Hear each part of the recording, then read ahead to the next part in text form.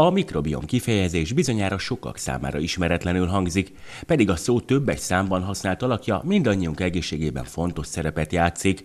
A mikrobiomok miben létéről és szerepükről tartott nemrégen előadást Forrai Márta, háziorvos és természetgyógyász Bonyhádon. Bennünk rajtunk élő kis mikroorganizmusok, amelyek főként baktériumok, de egysejtűek, vírusok, gombák is megtalálhatóak benne.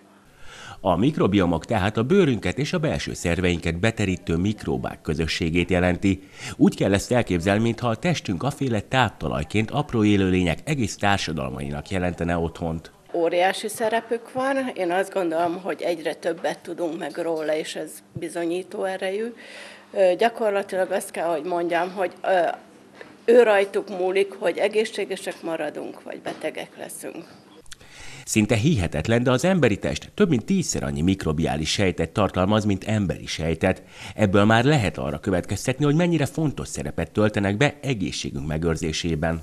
Ez egy nagyon bonyolult ökoszisztéma, ez a sok kis élőlény egymás mellett él, és egymás ha egyensúly van, e, egészség van, akkor egymás működését segítik, de nem csak az egymás működését, hanem a szervezetünk működését is, részben a jelenlétükkel, részben pedig az általuk termelt anyagokkal. Még megemlítenék egy nagy számot is, hogy 150-szer több a mikrobiális gének száma a mi 23 ezer génünk mellett.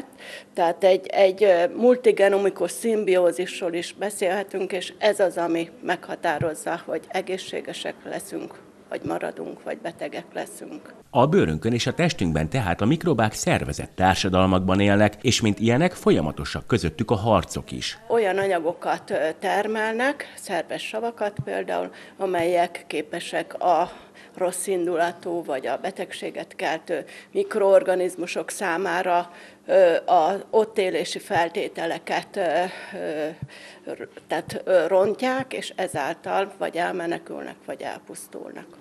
Az orvostudomány csak napjainkban eszmél rá, hogy a mikrobiomoknak egymástól nagyon különböző és sokszor genetikainak hit betegség megelőzésében is komoly szerepük van. Amiről bizonyított, vagy amiről feltételezik, például a depresszió, szklerózis, multiplex, demenciák, Alzheimer, Parkinson, szívérrendszeri megbetegedések, cukorbetegség, ízületi gyulladás,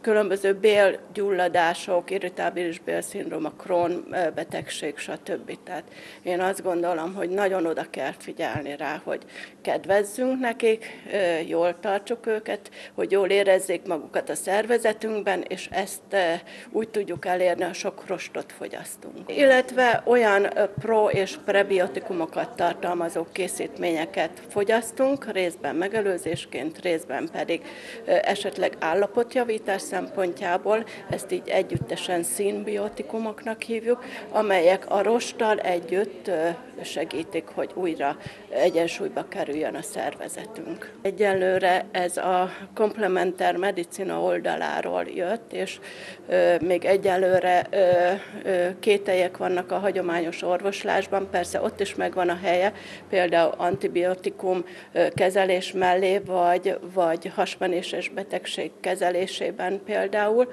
de én úgy gondolom az olvasataim alapján, hogy ennél lényegesen több feladatuk lesz.